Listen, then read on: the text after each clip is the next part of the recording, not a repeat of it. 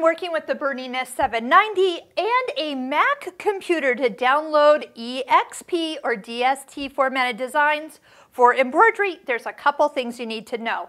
Number one, make sure you're using a one gig stick or a Bernina USB stick. So if you can't find a stick that's working for you, keep searching. And if you can't find one, visit your local Bernina retailer and they will have one available to you.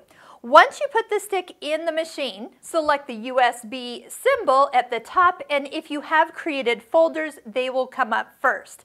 This is the next project I'm working on, and the first thing I notice is that I get these pink squiggly lines in my design. So there's just something about a way a Mac puts a design on the machine, uh, is that you need to scroll to the second half of the designs.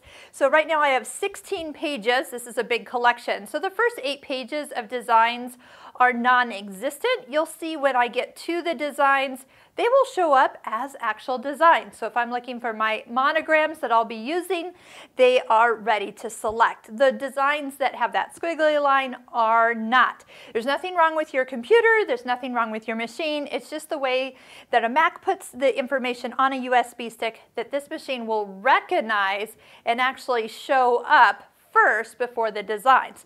Now, if you are working with a PC computer and Windows, you do not have this issue. This will not interfere with anything you're doing. You just need to make sure you're using a one gig stick and also the EXP or DST format of the designs. And that's something that's available for, from just about any of your embroidery companies that you'll be purchasing designs from downloading designs from, or buying them on CDs.